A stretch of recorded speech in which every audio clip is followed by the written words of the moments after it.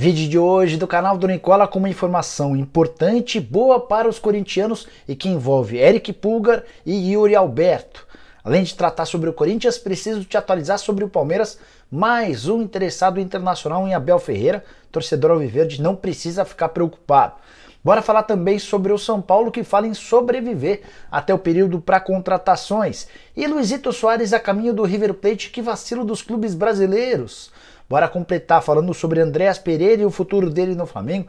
Tem as últimas do mercado de transferências. Preciso te atualizar sobre a possibilidade de Jean Carlos, do Náutico, jogar no Botafogo ou no Cruzeiro, além de outras novidades.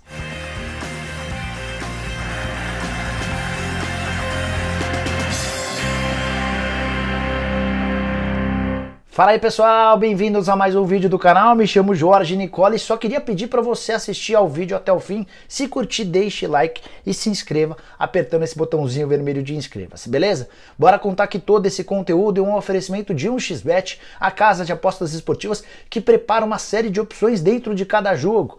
E tem Libertadores da América já a partir dessa terça-feira com cotações bem legais na 1xBet. Emelec Galo, a vitória do Atlético paga R$ 1,84. Já no jogo entre Atlético Paranaense e Libertar, vitória do Furacão em casa pagando R$ 1,85. E Corinthians e Boca Juniors terça-feira Neoquímica Arena. Vitória do Timão pagando 2,37, empate pagando 3,16 e a vitória do Boca pagando 3,60.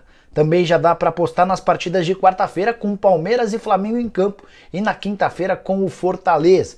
Isso sem falar na Sul-Americana e várias outras competições. O link da 1xBet está no comentário fixo. Aperta lá, já faz seu cadastro e usa o cupom Nicola para ter direito a 100% de bônus no valor do seu depósito. Bora começar o vídeo com o tradicional giro de notícias e a primeira informação é para repercutir algo que eu contei com exclusividade durante o fim de semana. Pedrinho escolheu o Atlético Mineiro. Aí você pode estar se perguntando, tá bom, Nicola, mas cadê o anúncio? O Galo só espera que o meio atacante assine o contrato antes de fazer a confirmação de forma oficial. Isso pode acontecer ainda nessa segunda-feira. Ele é aguardado em Belo Horizonte para a realização dos exames médicos e a assinatura do contrato. Bora falar também que o Tolima, adversário do Flamengo na quarta-feira na Libertadores da América, perdeu nesse domingo um título no Campeonato Colombiano. Chegou a abrir 2 a 0 contra o Atlético Nacional da Colômbia. Era o resultado que ele precisava para levar a decisão para pênaltis depois de perder a partida de ida por 3 a 1. Mas no finalzinho, já nos acréscimos, o Atlético fez mais um gol, perdeu por 2 a 1 e confirmou o título colombiano, deixando o rival do rubro-negro com o vice-campeonato.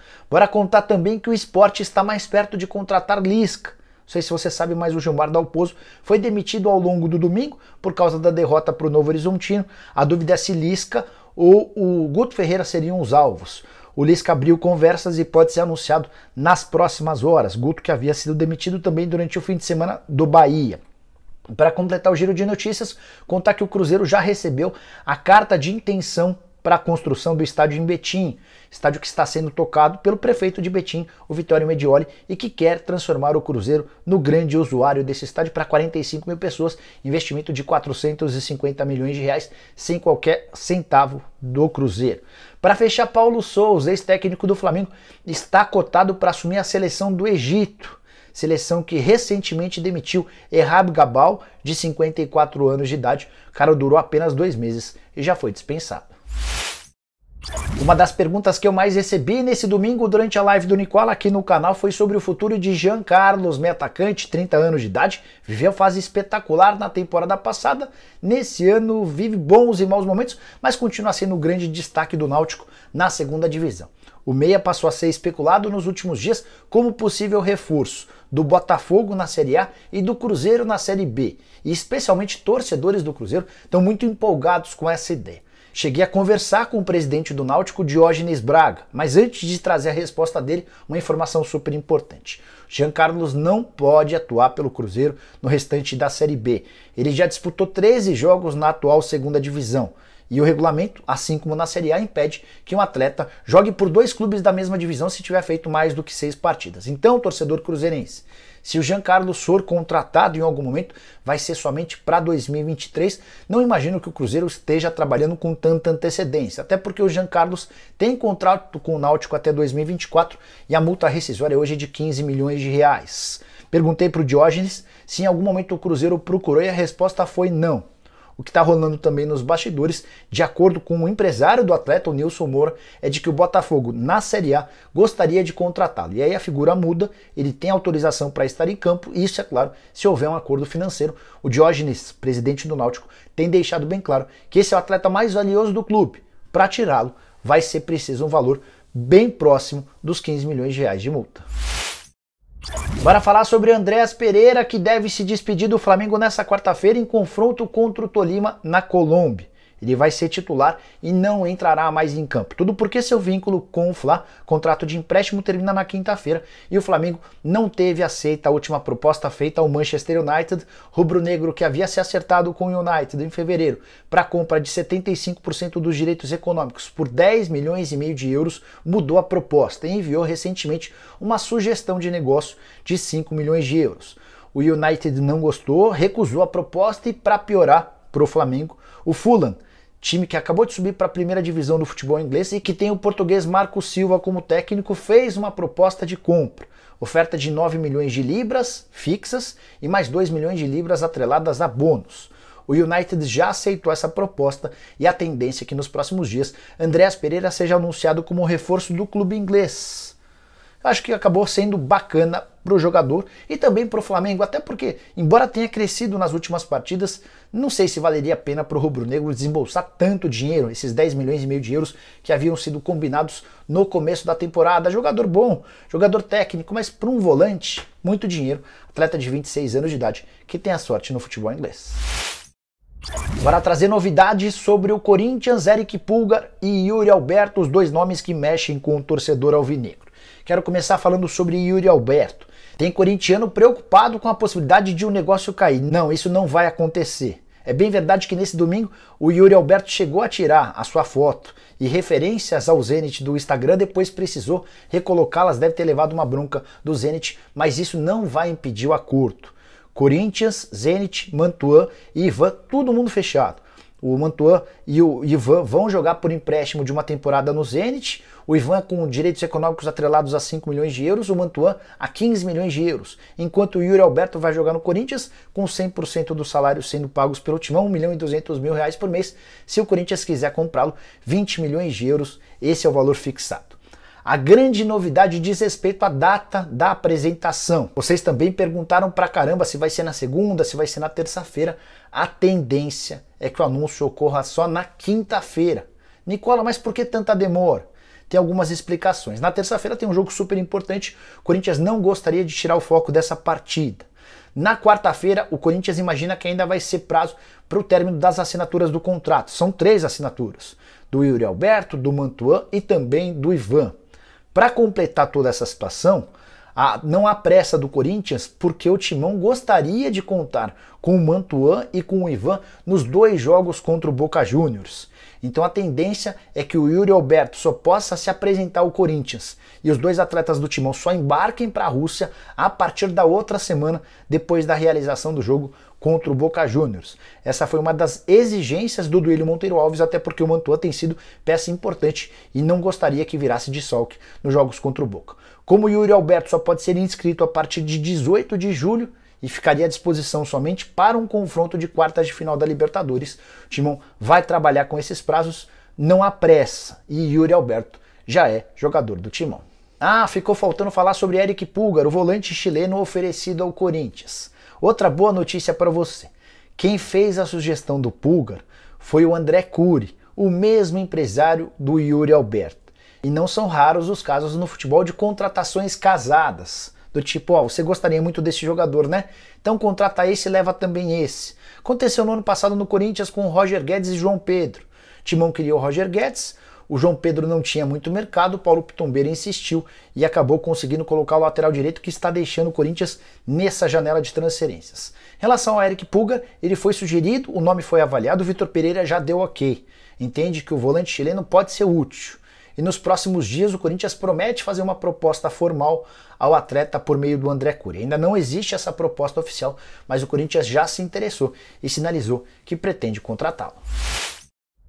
Bora de notícia exclusiva, Abel Ferreira virou alvo de mais um clube estrangeiro. Mas calma, torcedor do Palmeiras, a notícia terminará com um final feliz para vocês.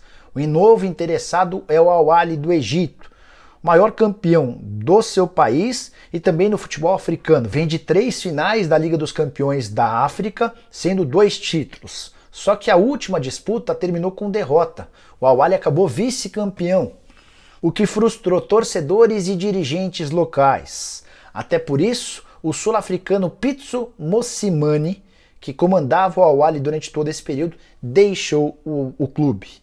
É por causa dessa ausência que se especulou no Egito a possibilidade de Abel Ferreira ser contratado. Um jornalista de lá chegou a me procurar para dizer que o Abel encantava a todos no clube.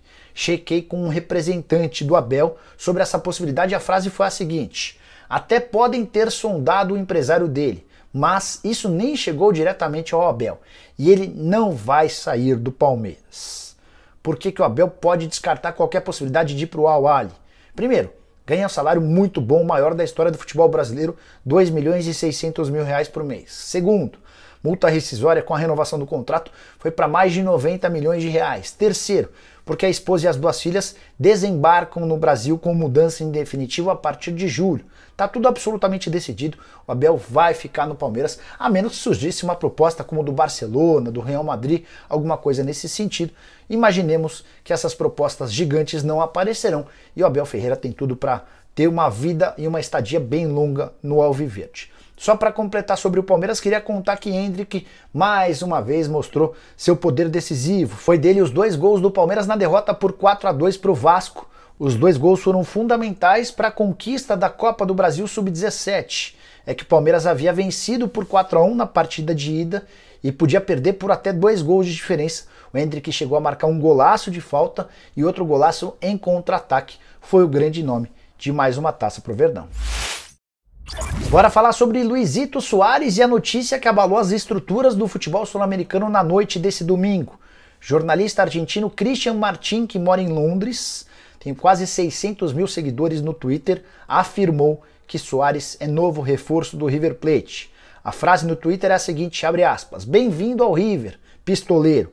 Há balas para todos. Luiz Soares é o novo jogador do glorioso River Plate.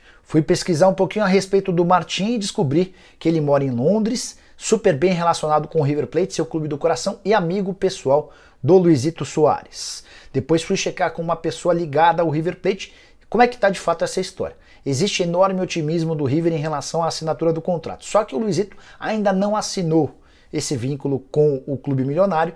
O uruguaio já está livre no mercado e pode assinar com quem bem quiser. E a questão financeira certamente não foi a decisiva. Ele tinha propostas, por exemplo, da Major League Soccer mais interessantes. Mas o River Plate, com toda a sua estrutura e com a presença de Marcelo Galhardo, foi fator decisivo para a escolha de Luizito Soares, que faz do River um dos grandes favoritos ao título da Libertadores. River que começa a decidir nessa semana o confronto contra o Vélez Sarsfield, passando pega outro argentino na semifinal, o vencedor de Colón ou Tajeres. Vencendo mais uma vez, aí pega o vencedor de possíveis confrontos entre Flamengo e Corinthians, ou Flamengo e Boca Juniors, dependendo do que acontecer com o Corinthians diante do Boca. Bora fechar o vídeo para falar sobre o São Paulo que só empatou em 0 a 0 com o Juventude, até então lanterna do Campeonato Brasileiro, partida disputada no Morumbi. São Paulo até criou chances, 45 bolas levantadas na área, faltou repertório mas também um pouquinho de sorte. Foram chances, pelo menos com Miranda e Caleri, bastante contundentes para que o São Paulo saísse com a vitória. O empate jogou o São Paulo para a oitava colocação na tabela de classificação. São só 19 pontos conquistados, 10 a menos do que o Palmeiras e 5 pontos atrás do G4 bastante lamentação. Tem uma imagem muito forte do Rogério Ceni ao final da partida, atirando o casaco, bastante revoltado.